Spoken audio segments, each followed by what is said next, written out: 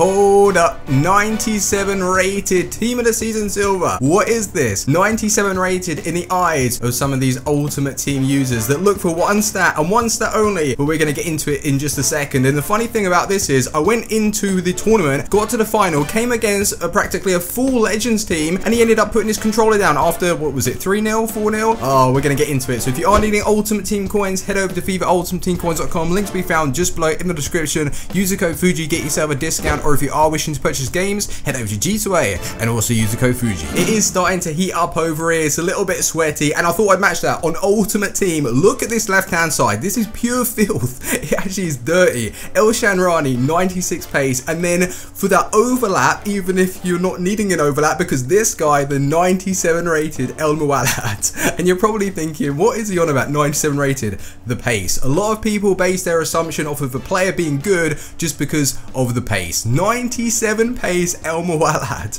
This guy is quick. 80 dribbling as well, 80 passing, 73 shot. That's not bad at all. 76,000 coins I paid for him. 7 games, 6 goals, 3 assists, and most of them were either in division matches or I went and did a cup run. And you wait until you see the final uh, games like team. It's just crazy. So going through the actual squad, we've got Navas in goal, great keeper. We have Digmaya, Varane, Rami that arguably is the worst player in the side because of his pace, but I wasn't really feeling it at all because you have Al-Shahrani next to him that is just going to do everything. Like, I love how this guy can carry the ball up the pitch, and he was actually putting balls through to uh, Lewandowski, so that was crazy. We've got Krychowiak in the CDM position. We have this guy. You you can you can try and pronounce his name. I'm going to call him Adrian. He's scored three goals in seven games. Not so bad. He's got some really good skill skill moves and weak foot, left footed as well. And yeah, he was he was actually actually scoring some really nice goals. So I thought he was great for the coins. Gundogan in the right centre mid position. We also have Costa and Lewandowski in the in the attack. But this guy is why I wanted to build a team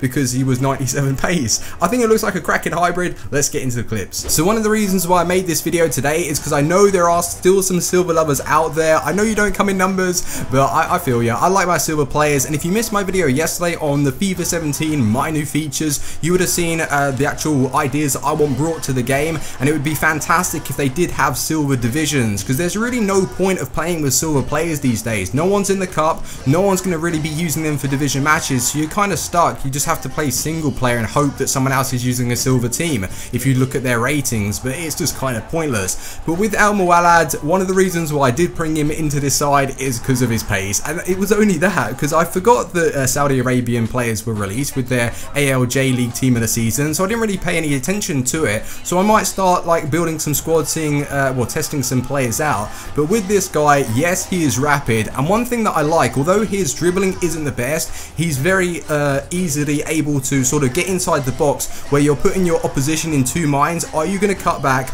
or are you going to sort of run towards goal and shoot it near post? And you have to act on that quickly. Otherwise, if you leave El Mouallad to run, then he's just going to basically run past in a straight line and smack it near post. And the majority of the time, my opponents were making the wrong decision and he was scoring goals. So I really like that about him. But one of the goals that I did manage to finesse outside the box with, it was incredible. Like his animation was just completely different to anything that I've like known or been used to before. He got a lot of whip behind it and it just nestled top corner. It was a very, very good goal. But also a couple of the other players in the team that I was really liking. The centre mid as well, I didn't really know how to pronounce his name. But with the 4-star skills, 4-star weak fit, he was making some really intelligent runs. His delivery was good as well. I loved him. Really, really good stuff. And the left back, Al-Shahrani, this has to be like the quickest attack that I've used in any FIFA. It's just unstoppable at times because even if uh, El Mouallad, he runs out of stamina, which wasn't really too often, but if he if he ran out of stamina, then you've got Al-Shahrani overlapping. It's just crazy. Very, very hard to sort of break down as well.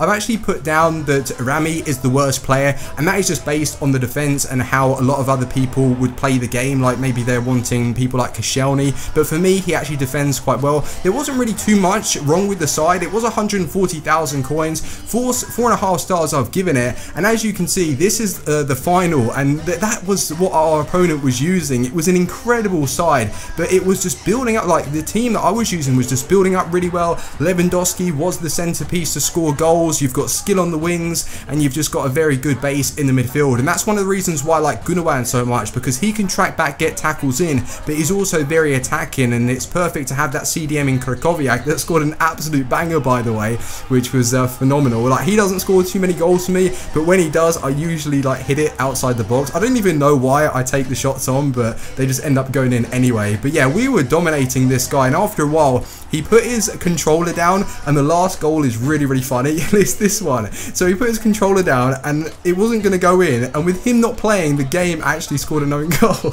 What's that all about? But yeah, guys, that is the team. Let me know if you still use Team of the Season players, especially Silvers. We did, in fact, win the cup, and yeah, it was awesome. So thanks so much for watching, guys. Hopefully you have enjoyed, and I'll see you on the next video. Team out. Peace.